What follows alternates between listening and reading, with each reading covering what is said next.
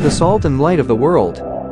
This phrase is often used in Christian circles, but what does it actually mean? And how can we apply this concept to our lives as believers? Let's dive in and explore. Salt of the world. In Matthew 5:13, Jesus said, you are the salt of the earth. Salt has been used for centuries as a preservative, a seasoning, and a flavor enhancer. As Christians, we are called to be the salt of the earth, in the sense that we are to preserve and enhance the world around us. We are to be a positive influence, bringing out the best in others, and helping to prevent decay and corruption. In the Bible, Jesus used the metaphor of salt to describe the role of his followers in the world. In Matthew 5:13, Jesus said, you are the salt of the earth. But if the salt loses its saltiness, how can it be made salty again? It is no longer good for anything, except to be thrown out and trampled underfoot. Salt has several properties that make it a useful metaphor for Christian living. First, salt is a preservative. In the ancient world, salt was used to preserve food by preventing decay and spoilage. Similarly, as the salt of the earth, Christians are called to preserve and uphold moral values and ethical standards in society.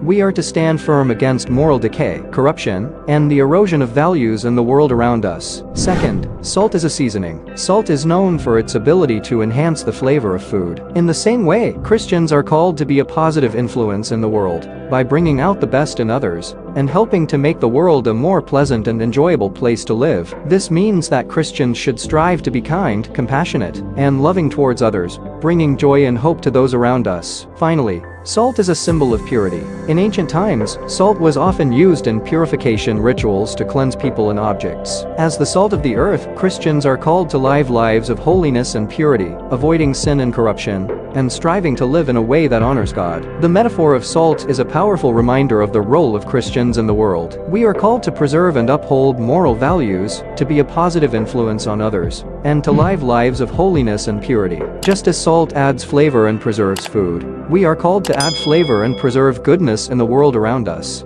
Light of the world. In Matthew 5:14 to 16, Jesus continued, You are the light of the world, let your light shine before others, so that they may see your good works and give glory to your Father in heaven. Light is often used as a symbol of truth, knowledge, and enlightenment. As Christians, we are called to be the light of the world by sharing the truth of the gospel and shining a light on the darkness of sin and evil. In the Bible, Jesus used the metaphor of light to describe the role of his followers in the world. In Matthew 5:14 to 16, Jesus said, You are the light of the world. A town built on a hill cannot be hidden, neither do people light a lamp and put it under a bowl. Instead, they put it on its stand, and it gives light to everyone in the house. In the same way, let your light shine before others, that they may see your good deeds and glorify your Father in heaven. The metaphor of light is a powerful image that conveys several important ideas about the role of Christians in the world. First, light illuminates darkness. In the same way that a lamp can light up a dark room, Christians are called to bring the light of truth and knowledge to a world that is often shrouded in darkness. This means that Christians should be unafraid to speak the truth and stand up for what is right, even in the face of opposition or persecution. Second, light guides the way. In the same way that a lighthouse helps ships navigate through treacherous waters, Christians are called to be guides and mentors to those around us. This means that Christians should strive to be good examples, living out our faith in practical ways, and helping others to do the same. We should be willing to mentor and disciple those who are younger or less experienced in the faith,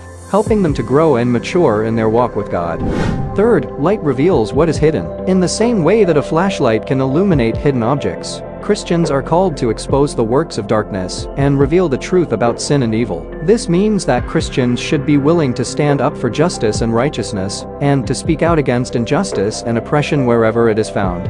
Finally, light attracts others. In the same way that moths are drawn to a flame, Christians are called to be attractive and winsome drawing others to the beauty and truth of the gospel. This means that Christians should be warm, welcoming, and hospitable, always ready to share the love of Christ with those around us. The metaphor of light is a powerful reminder of the role of Christians in the world. We are called to bring the light of truth and knowledge to a world that is often shrouded in darkness, to be guides and mentors to those around us, to expose the works of darkness, and reveal the truth about sin and evil, and to be attractive and winsome, drawing others to the beauty and truth of the gospel. Living out the salt and light concept. So how do we live out the concept of being the salt and light of the world in our daily lives? Firstly, we can preserve and enhance the world by living with integrity and moral uprightness, by serving others selflessly, and by being peacemakers in our relationships. Secondly, we can shine a light on the truth by sharing the gospel with those around us by living out our faith in practical ways, and by standing up for justice and righteousness. Living out the salt and light concept means embodying the characteristics of salt and light in our daily lives as followers of Christ. Here are some ways to practically live out this concept. Preserving moral values. As the salt of the earth, we are called to preserve and uphold moral values and ethical standards in society. This means standing firm against moral decay, corruption, and the erosion of values in the world around us. We can do this by being active in our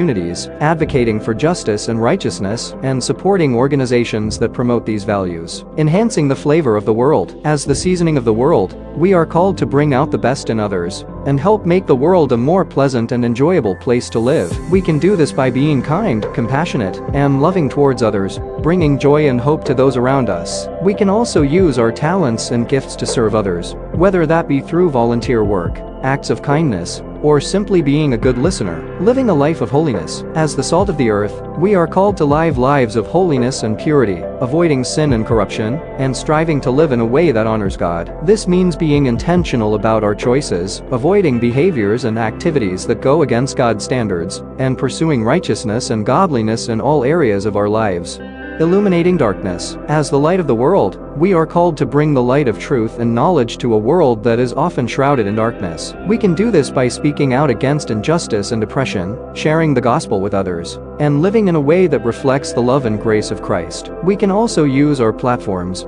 whether that be through social media, our jobs, or our personal relationships, to shine a light on important issues and bring awareness to causes that matter. Being a guide and mentor. As the light of the world, we are called to be guides and mentors to those around us, helping them to grow and mature in their walk with God. We can do this by being intentional about our relationships, investing in the lives of others, and sharing our own experiences and struggles as we walk alongside them. Living out the salt and light concept means embodying the characteristics of salt and light in all areas of our lives, being intentional about our choices, and using our influence to make a positive impact in the world around us. By living in this way, we can fulfill our calling as followers of Christ and bring glory to God. In conclusion, the concept of being the salt and light of the world is a call to action for all believers. It's a reminder that we are called to be positive influencers in the world around us, preserving and enhancing what is good, and shining a light on the truth of the gospel. Let's embrace this calling and live out our faith boldly